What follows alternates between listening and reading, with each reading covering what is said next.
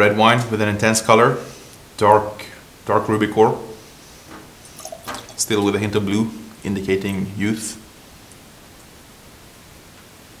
Fresh nose, a mix of uh, red and dark berries, predominant, predominantly red currant, black currant, some plum, some aromatic herbs like, like sage, and quite discreet oak.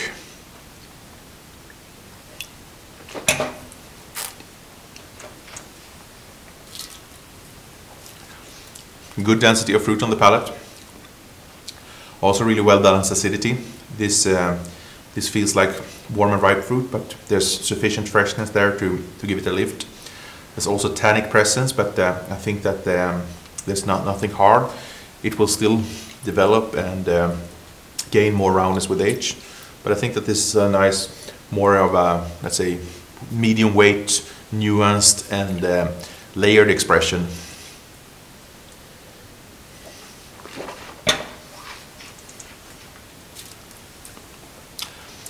The freshness keeps lingering through on the finish as well.